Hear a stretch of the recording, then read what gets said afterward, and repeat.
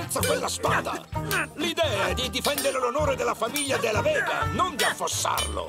Ma padre, non posso tirare di spada e usare il ventaglio allo stesso tempo.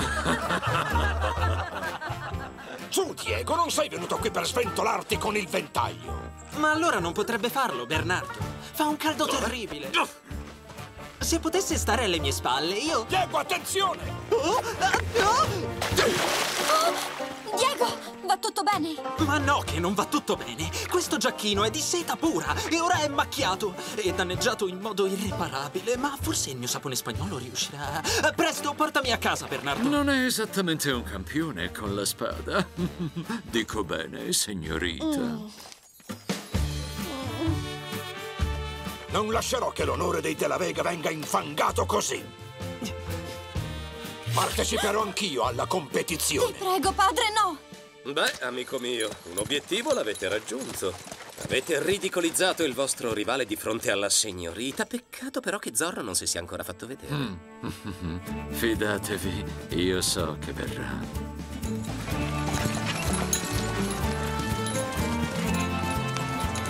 Presto, Bernardo. Non dobbiamo farli attendere troppo. Sono così ansiosi di catturare Zorro.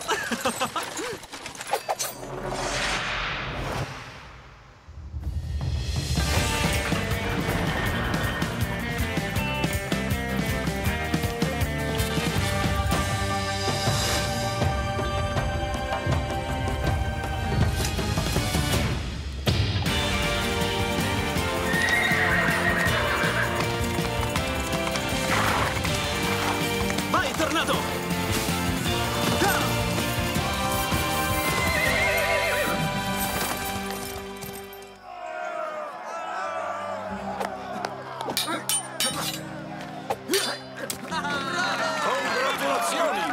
Bravo, amico mio! Bravissimo!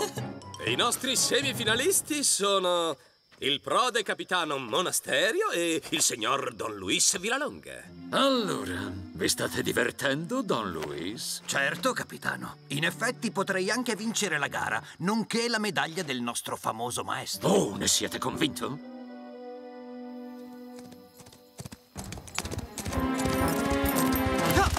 Signores, en garde!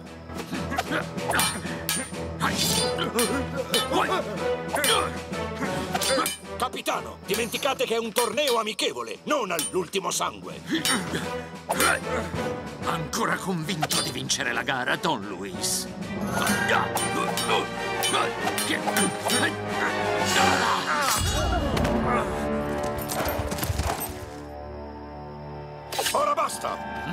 Capitano!